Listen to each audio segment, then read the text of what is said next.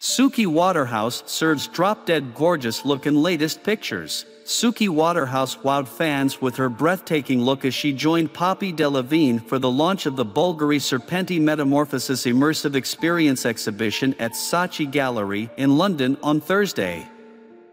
The model, 30, showed off her elegant style in an eye-catching black dress with a netted skirt as she arrived at the swanky fashion event. Suki was looking out of this world as she put a glamorous figure in her full-length gown which boasted a sheer netted neckline and a distressed skirt. The British beauty kept the look quite stylish with unusual block-heeled shoes and a serpent-inspired necklace, adding a pop of color with a statement red lip.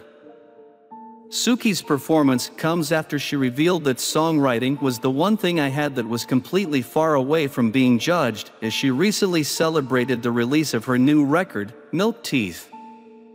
Suki addressed how she believed she was previously seen in the public eye through the lens of high profile relationships with the likes of Bradley Cooper and Robert Pattinson. She said, Most things in my life, since I was 20, have been horribly public and embarrassing, but this, songwriting, was something I had control over. November saw the release of Suki's latest music nearly a decade after her first single Brutally was released on YouTube.